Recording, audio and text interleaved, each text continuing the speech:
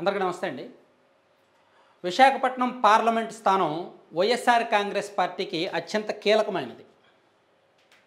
రాబోయే ఎన్నికల్లో లేదా ఎన్నికల అజెండాగా మూడు రాజధానుల అంశము ఉత్తరాంధ్ర రాజధాని అంశము విశాఖపట్నం పరిపాలనా రాజధాని అంశము ఉత్తరాంధ్ర అభివృద్ధి అంశాన్నే ఎన్నికల అజెండాగా పెట్టి వైఎస్ఆర్ కాంగ్రెస్ పార్టీ పూర్తి స్థాయి రాజకీయాన్ని మొదలు పెట్టబోతోంది సో అందుకే విశాఖపట్నం పార్లమెంట్ స్థానంలో ఇప్పుడు ఉన్న ఎంవివి సత్యనారాయణ గారు కాకుండా మరో అభ్యర్థికి ఎవరికైనా ఇస్తే బాగుంటుందా అని వైసీపీలో ఆలోచనలు జరుగుతున్నట్టుగా ఒక సమాచారం. అయితే ఎంవివి సత్యనారాయణ గారు కూడా సీనియర్ నాయకుడు. ఆయన కూడా మంచి పేరుంది. సో ఆయనకు విశాఖ పార్లమెంట్ పరిధిలోని ఏదైనా ఎమ్మెల్యే స్థానం ఇచ్చి ఆయన కోరుకున్న చోట ఆయన ఎక్కడ అడిగితే ఆయనకి ఎక్కడ ఇంట్రెస్ట్ ఉంటే అక్కడ ఎమ్మెల్యే స్థానాన్ని ఇచ్చి విశాఖ ఎంపీ అభ్యర్థిగా వైవి సుబ్బారెడ్డి గారికి సీటు ఇవ్వబోతున్నారు అనేది ఒక రాజకీయ వర్గాల్లో వస్తున్న ఒక పుకారు గాసిప్ మాత్రమే. నేను నూటికి నూరు శాతం నిజమని నేను చెప్పను. గాసిప్ మాత్రమే పుకారు మాత్రమే. అయితే ఇది నిజమయ్యే అవకాశాలు ఉన్నాయా లేవా? అందుకు దారితీసే పరిస్థితులు ఏమిటి అనేది మాత్రమే నేను ఎనలైజ్ చేస్తా. ఇది నిజం అవ్వచ్చు కాకపోవచ్చు. ఎందుకంటే ఎంవివి సత్యనారాయణ గారి సిట్టింగ్ ఎంపీని కాదు అని మరో అభ్యర్థికి ఇవ్వడం కూడా రిస్కే సరే నిజానికి విశాఖ పార్లమెంట్ స్థానం వైఎస్ఆర్ కాంగ్రెస్ పార్టీకి ప్రెస్టీజియస్. వాళ్ళు రెండు వేల పంతొమ్మిది ఎన్నికల్లో కూడా చాలా తక్కువ మెజార్టీతో మాత్రమే వైసీపీ గెలిచింది. అది కూడా రెండు వేల పంతొమ్మిది ఎన్నికల్లో ముక్కోన పోటీ జరిగింది.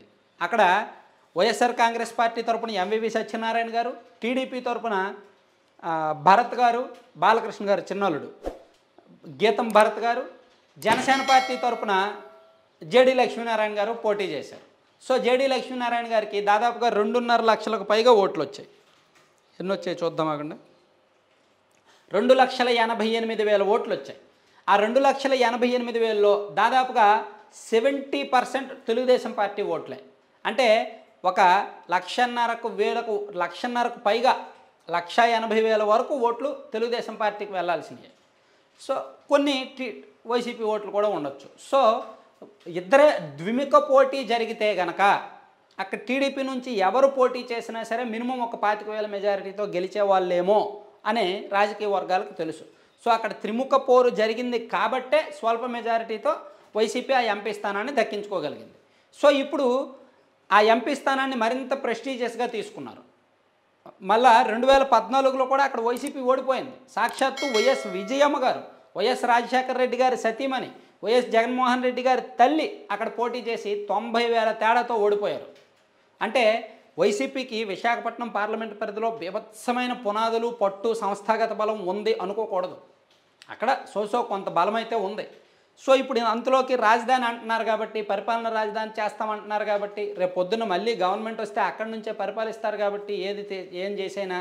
సో అక్కడ తమకు అనుకూలమైన తమ కుటుంబ సభ్యుడే ఎంపీగా ఉంటే బాగుంటుంది అనేది ఖచ్చితంగా గెలిచి తీరాలి ఆ ఎంపీ స్థానాన్ని అనేది జగన్మోహన్ రెడ్డి గారి ఆలోచన. అందుకే వైవి సుబ్బారెడ్డి గారికి ఇస్తే ఆయన వివాదరహితుడు సౌమ్యుడు కాస్త మంచి పేరు ఉంది పార్టీ వర్గాల్లో పట్టుంది. అలాగే ఉత్తరాంధ్ర ప్రాంతానికి గత మూడు నాలుగు నెలలుగా ఇన్ఛార్జిగా ఉంటూ అన్ని వ్యవహారాలు సైలెంట్గా చక్కబెడుతున్నారు. అందరితో కోఆర్డినేట్ చేసుకుంటున్నారు. గతంలో ఉన్న వివాదాలు విభేదాలు ఇప్పుడు లేవు. ఉత్తరాంధ్ర ప్రాంతంలో కాస్త బాగుంది అని జగన్మోహన్ రెడ్డి గారికి రిపోర్ట్స్ వస్తున్నాయంట. సో గతంలో విజయసాయి రెడ్డి గారు ఉత్తరాంధ్ర ఇన్ఛార్జిగా ఉన్నప్పుడు జరిగిన వ్యవహారాలు ఏమి ఇప్పుడు జరగట్లేదంట. సో కొంత బెటర్ అని అనుకుంటున్నారు. సో అందుకే విజయ్ అందులోకి వైవి సుబ్బారెడ్డి గారికి గతంలో ఒంగోలు ఎంపీగా ఆయన పనిచేశారు. రెండు వేల పద్నాలుగు నుంచి రెండు వేల పంతొమ్మిది వరకు. పార్టీ కోసం ఆయన రెండు వేల పంతొమ్మిదిలో తన ఎంపీ సీట్ని త్యాగం చేసి ఆ తర్వాత గవర్నమెంట్ వచ్చాక టీటీడీ చైర్మన్ అయ్యి దాదాపుగా నాలుగేళ్ళ మూడున్నరేళ్ళ పాటు టీటీడీ చైర్మన్గా చేసి ఇప్పుడు ఉత్తరాంధ్ర జిల్లాలో ఇన్ఛార్జ్గా ఉన్నారు టీటీడీ చైర్మన్గా ఉన్నారు. Maybe next month next month TTD చైర్మన్గా రిజైన్ చేసి కేవలం ఉత్తరాంధ్ర వ్యవహారాలు మాత్రమే చూసుకోవాలనుకుంటున్నారు. సో ఇంత జరుగుతుంది. అందుకే తన కుటుంబ సభ్యుడినే విశాఖపట్నం ఎంపీ అభ్యర్థిగా పోటీ చేయిస్తే బాగుంటుంది అని సీఎం గారు భావిస్తున్నారని అందుకే ఓబీ సుబ్బారెడ్డి గారికి ఆ సీటు ఇచ్చే అవకాశం ఉంది అని చర్చ అయితే జరుగుతుంది. అయితే గెలుస్తారా లేదా?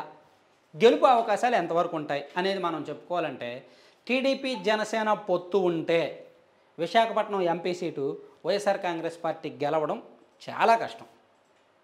ఎందుకంటే అక్కడ ఉన్న సామాజిక బలం చూసుకున్నా సంస్థాగత బలం చూసుకున్నా పార్టీల పట్టు చూసుకున్నా అలాగే విశాఖ పరిధిలో రెండు వేల పంతొమ్మిదిలో బీభత్సమైన వైసీపీ గాలిలోనే నాలుగు సీట్లు వైసీపీ కోల్పోయింది. విశాఖ పార్లమెంట్ పరిధిలో. సో ఓటింగ్ పరంగా చూసుకుంటే జిహెచ్ జీవీఎంసీ ఎలక్షన్స్లో కూడా గ్రేటర్ విశాఖ ఎలక్షన్స్లో కూడా వైసీపీకి వచ్చిన ఓట్ల కంటే వైసీపీ యాంటీ.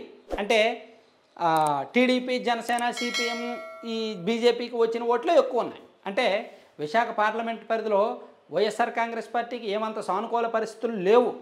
సో అందుకే అక్కడ గెలవాలి అంటే కాస్త క్యాండిడేట్ని మార్చి అన్నీ చేస్తే బాగుంటాయి అనుకుంటున్నారంట. పైగా ఎంవివి సత్యనారాయణ గారికి కూడా ఎక్కడ కావాలంటే అక్కడ ఇచ్చి ఆయన పట్టు కూడా ఆయన పరిచయాలు కూడా ఉపయోగపడతాయి ఆయన బలం కూడా ఉపయోగపడుతుందని భావిస్తున్నారంట. సో ఏం జరుగుతుందనే చూద్దాం. ప్రస్తుతానికి ప్రస్తుతానికైతే పుకారుగానే ఉంది. అక్కడ వైసీపీ ఆ సీటు గెలవడం అంత ఈజీ అయితే కాదు. అక్కడ ఏమీ రాజధాని పాచికలు అయితే పారట్లేదు. విశాఖ ప్రాంత వాసులు ముఖ్యంగా విశాఖ స్టీల్ ప్లాంట్ ప్రైవేటీకరణ విషయంలో వైసీపీ మీద వ్యతిరేకంగా ఉన్నారు. విశాఖలో జరుగుతున్న భూముల వ్యవహారంలో వైసీపీ మీద వ్యతిరేకంగా ఉన్నారు. అలాగే అక్కడ ఉపాధి రావట్లేదు కొత్త పరిశ్రమలు రావట్లేదు కొన్ని కొన్ని అంతర్గత ఇబ్బందులు ఎక్కువ అవుతున్నాయి అనే విషయంలో కూడా ఆ ప్రాంతంలో కొంత వైసీపీ మీద వ్యతిరేకత ఉంది. సో అదంత ఈజీ అయితే కాదు చూద్దాం ఏం జరుగుద్ది అనేది